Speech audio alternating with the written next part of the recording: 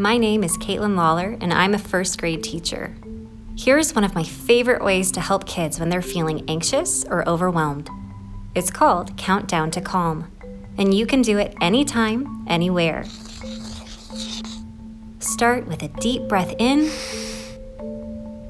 and out. Look around you and notice five things you can see, four things you can feel,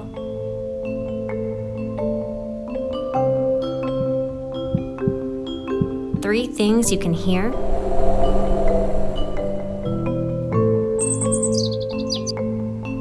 two things you can smell.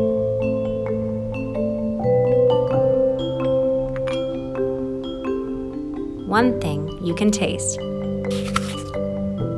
Or want to.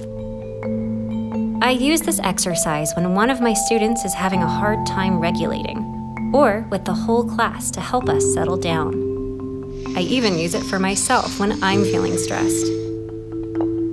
Shifting your focus away from worried thoughts to non threatening things in your immediate surroundings helps your body stop producing stress hormones and resets your brain. Then you can get back to learning and move on with your day.